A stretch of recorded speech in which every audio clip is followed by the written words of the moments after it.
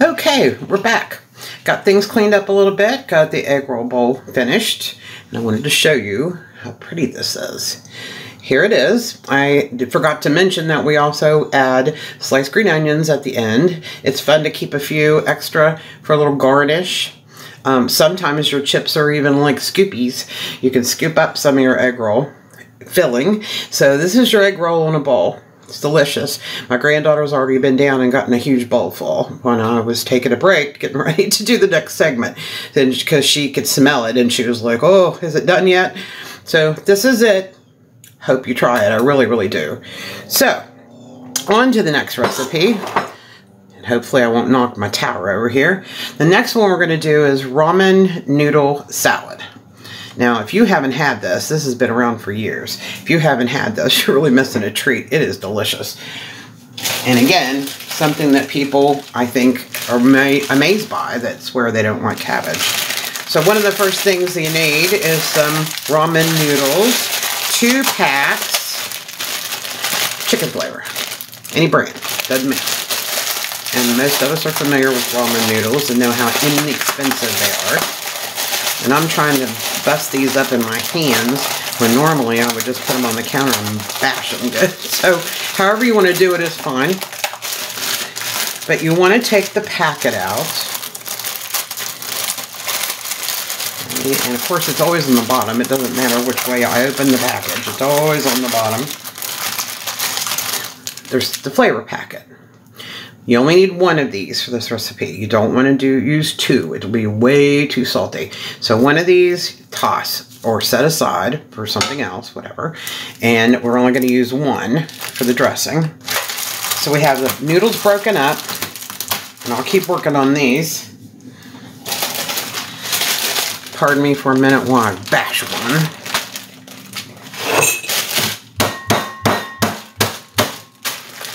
This is so much more fun. So they're partly broken. So then, this is, and this is an easy thing. So look at your recipe. There's a dressing that goes on this. And it starts partway down with the oil. Now we have oil, black pepper, apple cider vinegar, and sugar Splenda. Little tip here.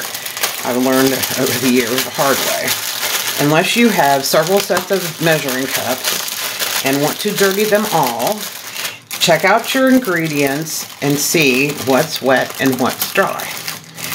Measure your dry ingredients first. Reason being that once you use um, your cups for oil or vinegar or water, milk, whatever it is for your recipe, then they're wet um, then you can't use them for dry because then everything dry, like sugar or whatever, will stick. So, in this case, I'm going to go with the sugar first because that is the dry ingredient that needs a measuring cup. So, looking at our recipe, the very last ingredient is one quarter cup of sugar or Splenda. And today we're going to use sugar. One quarter cup.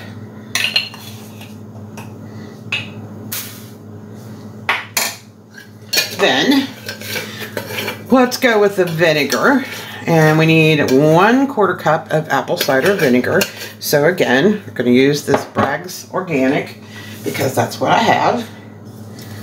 And if you don't have apple cider vinegar, the flavor is a little different than white vinegar, but if all you have on hand is white vinegar, just use it. It's okay. It doesn't make a huge difference in flavor. All right, now we need three quarters of a cup of oil. And my measuring cups don't have three quarters. I've got one, one half, one third, and one quarter. But it's not a big deal because one half plus one quarter will give me three quarters. I'm using canola oil. Um, some people don't care for canola oil. I like it a lot because I don't really use a lot of oil to begin with, but it's a very um, tasteless oil. It doesn't lend a heavy flavor like olive oil does, for example. So this is my choice for the oil that I do use. That was a half. Now we're going to do the quarter.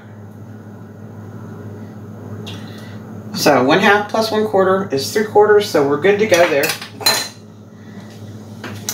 And then the last thing we need is one half teaspoon of black pepper. Let me find my one half teaspoon measuring spoon. My black pepper right here. Um, this recipe I think needs the black pepper. If you're not a black pepper fan, you can leave it out. I think it really makes a difference. But that's fine if you don't want it. Now, I have a whisk. You can also put this in a uh, like a jar with a tight fitting lid and shake it up really good if you wanted to to blend it better. If you didn't want to fool with using a whisk. It's just an oil and vinegar and sugar and black pepper dressing. So you stir that all up really good. It only takes a minute. And really what you want is to have make sure that the sugar gets dissolved in the dressing. That's it for the dressing. So, now all we need to do, we need a bag of coleslaw mix. Oh, there it is again, the coleslaw mix. And we need some green onions. I've got those too. Let me find my scissors. And we're going to cut our bag of coleslaw mix open. Again, coleslaw mix, easy peasy. Dump it in the bowl. How easy can that be? Now, I like to kind of go ahead and toss it around with the dressing. Or you can wait till you put the rest of it in. Doesn't matter. Make sure that you use a bowl that's big enough that you actually can stir this without getting it everywhere. Don't ask me how I know that can happen. so the next thing we need is green onions. I cut these ahead of time. This is a quarter cup of green onions sliced. Now, I didn't show you how to do that, but you basically just clean your onions and lay them up out side by side, lined up on a cutting board, and then use a sharp knife and slice them.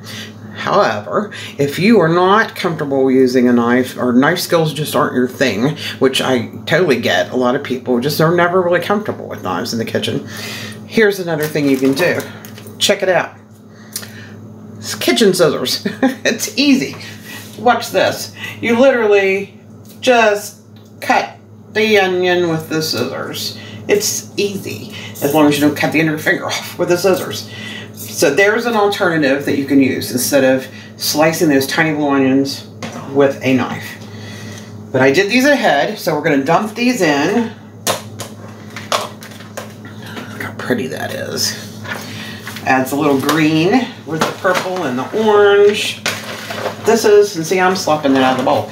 This is some another thing that you could put like those matchstick carrots in from the egg roll bowl that you have left over. This is something you could do with those too. You could put them in the salad if you really like carrots. You could add more instead of just going with what's in here. And by the way, coleslaw mixes come in different ways. I purposely bought the tricolor because I love the colors. I love, especially in the salad, I like the contrast of the purple cabbage and the green cabbage and the uh, orange of the carrots. But you also can find um, coleslaw mix that does not have purple cabbage and often doesn't have carrots either. And there's also one called angel hair that is a very, very fine shredded cabbage if you would prefer that. Like for this salad, you could use that instead. So there's no hard and fast rule. You can also buy a head of cabbage and slice it yourself real thin that's what I usually do for the egg roll bowl is I buy cabbage and then I just hand slice it because I want to put up so many other things in it that I don't really need the, the pre-bagged. But anyway, so the other thing we have that we can put in our salad now is a half cup of toasted sunflower seeds. But at the bottom of the recipe, if you notice, I not only mentioned that this is really good if you chill it overnight, but also that you can substitute sliced or slivered almonds. Now, I have sunflower seeds. They're in this jar because um, what I have came in these real small packets and I wanted to make sure and keep them fresh and keep them all together. So I dumped them in a, a jar that I had recycled and I have them in here. But today I want almonds in mine and I really like these thin sliced almonds. I don't know if you can see them very well, but they're super thin sliced. You can also get them slivered that are like in um, long, inch long pieces, chunks. So I'm going to put these in in place of the sunflower seeds. But either way is fine, and you can actually put both in if you want. So I'm going to dump those in. Stir it up a little bit. Get it coated really nicely. Then let's put some in a bowl and see how pretty it is. Oh, you should have stopped me. You know what I forgot? The noodles that I beat to death. And the chicken flavor. that just goes to show you, it doesn't matter how seasoned a canner or cook that you are, you can always make mistakes. So I'm putting the ramen noodles in now and stirring them in. And see, I could redo this whole segment and you'd never know I made a mistake. But this just goes to show we all make mistakes. So the chicken flavor goes in with the oil and the vinegar and the sugar and the black pepper. And now you know Dede makes mistakes all the time. So I'm going to put that in a bowl, some of it.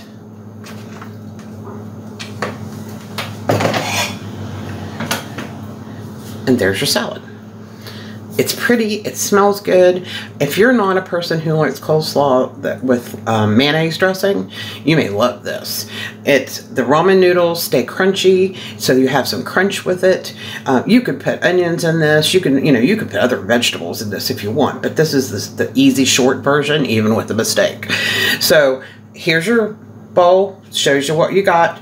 Give this recipe a try fun to share with friends, like for a, a dinner for something different instead of a tossed salad. So the next thing I'm going to mention, but I'm not going to demonstrate it because it takes too long, that has to do with, again, coleslaw mix. So one of the recipes in here on the last page is coleslaw to can or freeze or fridge. This recipe is really neat. It again is another recipe that is um, can be a mayonnaise free coleslaw. I have friends who wouldn't touch mayonnaise if you uh, force them to. force them to. They just they don't like mayonnaise. But you can follow this recipe. You can can it in a boiling water bath. It's safe.